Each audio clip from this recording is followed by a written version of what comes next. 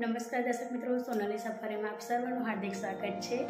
એક અગત્યની સૂચના છે આપ સર્વ માટે કે આવતીકાલ એટલે કે તારીખ એક સાત બે હજાર ચોવીસના રોજથી નવા ત્રણ કાયદાનો અમલ થવા જઈ રહ્યો છે.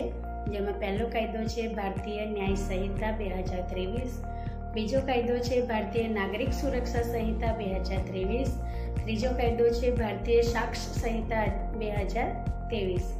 આ ત્રણ કાયદા જે જૂનો કાયદો આઈપીસી સીઆરપીસી અને એવિડન્સ એક્ટ હતા, તેની જગ્યાએ આવ્યા છે.